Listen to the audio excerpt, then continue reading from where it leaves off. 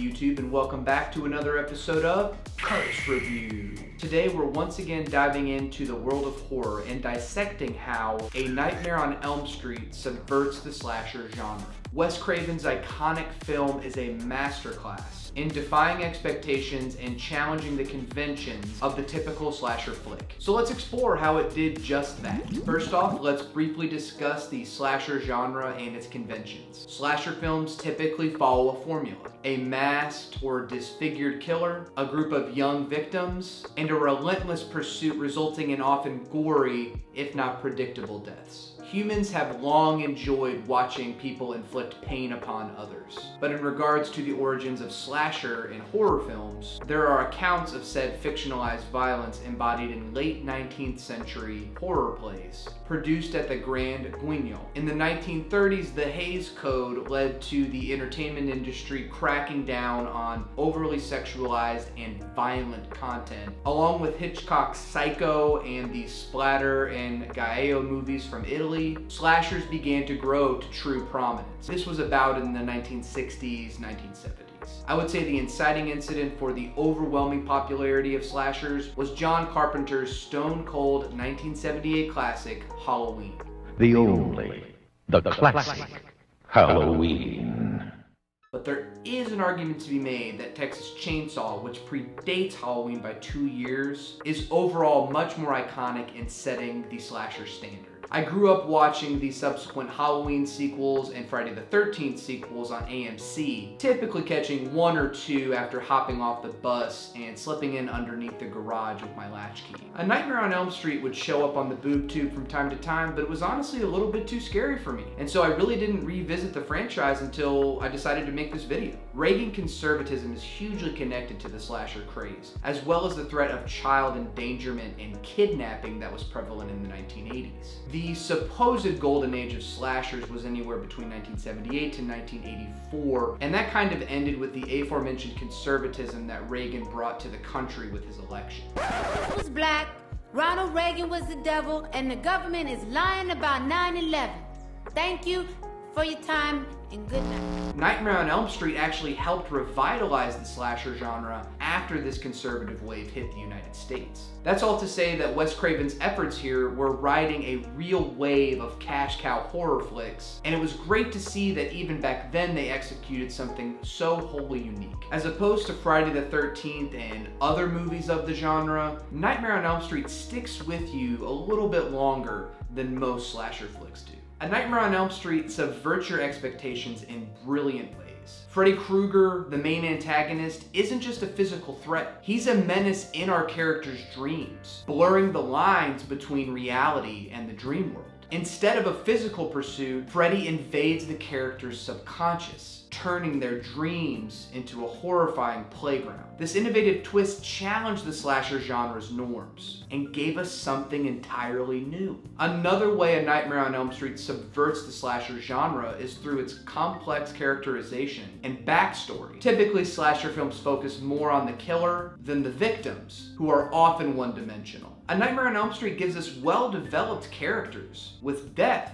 fear and histories. This movie delves into the emotional and psychological trauma that Freddy inflicts on the victims, adding more layers of complexity to the narrative. In traditional slasher films, the killer is often depicted as an unstoppable force, and A Nightmare on Elm Street flips that dynamic on its head. Our protagonist, Nancy and her friends, learn to fight back against Freddy in their dreams. They discover his weaknesses and use their wits and ingenuity to turn the table on him. This inversion of power challenges the typical notion of the invincible slasher, making the film even more engaging. I wager here that the real battle that Nancy is fighting is with her mother and father. As her friends drop off one by one and Nancy begins to unravel the layers to this nightmare, her parents both fail to truly believe her claims. And why should they? Of course, walking in on a friend that's just been murdered in front of your eyes? That would fuck anyone up. Why should our teenage daughter be any different? And that's kind of the problem. Remember in the Peanuts cartoons when Charlie Brown Brown and co. would ever interact with adults, it always sounded like wah, wah, wah, wah, wah, wah, wah. The kids couldn't understand their motives. That's kind of how the adults are in Nightmare on Elm Street. Clueless, disinterested, and oftentimes not even there. But they move past these tropes, forming interesting family and character dynamics. This is especially true of Nancy's mother Marge, played by Ronee Blakley. As Nancy seems to be getting crazier and crazier, we begin to find out that Marge is just as out of control of her own fear as Nancy. She thinks that she had taken care of Freddy in the past and that her daughter would be safe. This generational trauma, the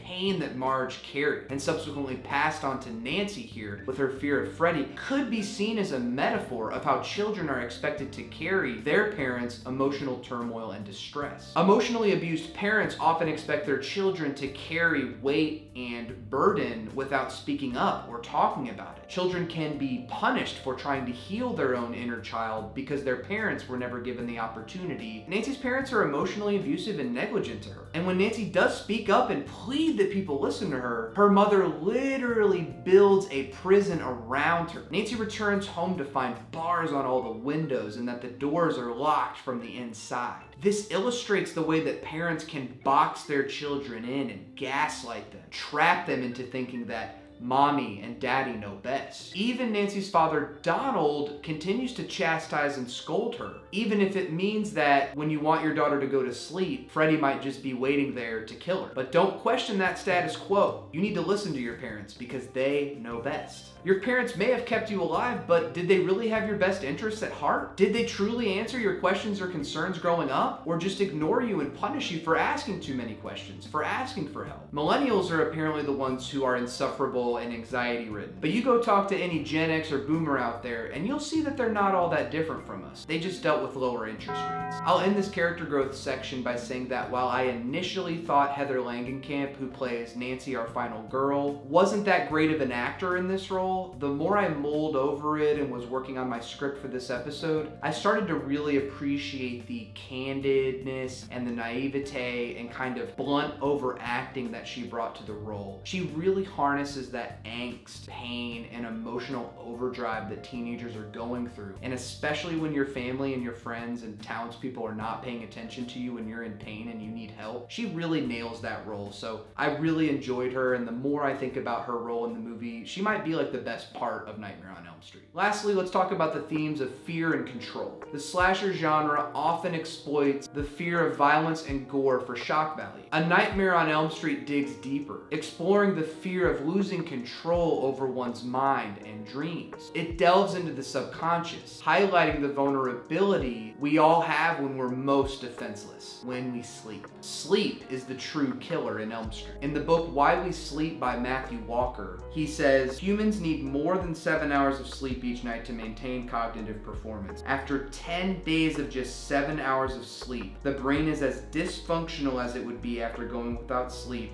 for 24 hours. There are some incredible sight gags throughout Elm Street, but one of my favorites is one where Nancy has convinced her mother Marge that she's finally gonna go to sleep, and Marge carries out an armful of an empty coffee pot, mugs, and energy pills, and as soon as she turns the light off and closes the door, Nancy hops out of bed and we find that she's been brewing another pot of coffee underneath her nightstand. To have a burn victim child predator chasing you in your dreams is one thing, but the terror of not being able to sleep is the true horror of this movie. I didn't find this movie to be utterly terrifying, but I do think the movie is very clever and has some incredible practical effects and wonderful ambiance and music. All the stimuli we see on our phones, TVs, and screens, not to mention everything we see just out in the waking world as we're walking about and doing things, can amalgamate into some horrific imagery during our REM cycles. Freddy is a perfect fulcrum for Wes Craven to explore this idea. Not to mention you need an icon to carry a slasher flick franchise. But it's not what Freddy's doing on screen that is so scary. It's the idea that his very presence can keep you from falling into a deep sleep until you finally gnawed off, depleted. And while I don't find Freddy himself to be that effective of a slasher villain, Nightmare on Elm Street stands as a unique and special entry into the genre. This wouldn't be my first choice if I was going to pick a slasher flick to watch this Halloween, but it sure as hell was fun to watch, and it made me even more excited to revisit Wes Craven later on on this channel. In conclusion, A Nightmare on Elm Street stands as a groundbreaking film that defied the conventions of the slasher genre. It challenged the norm by subverting expectations, presenting complex characters, inverting power dynamics, and exploring deeper themes of fear and control.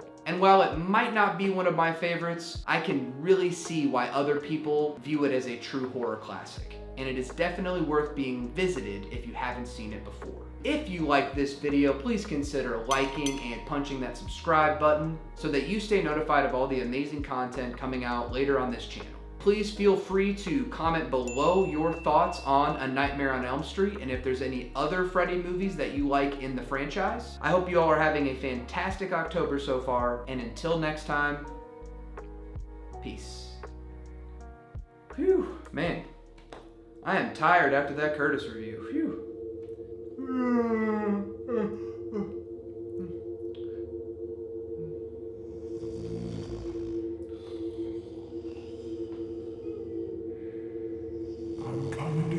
Should be.